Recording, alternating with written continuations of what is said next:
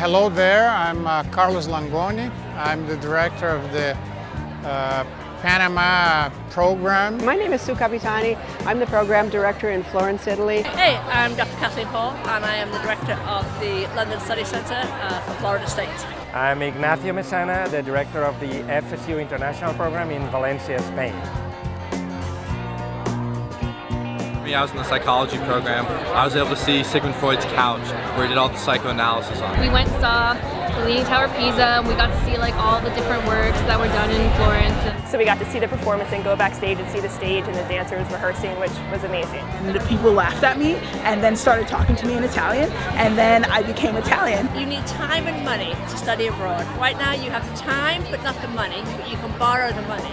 In the future, you'll have the money, but you won't be able to borrow the time which means one thing, one message I have for you. This is your time to study abroad. Go Noles.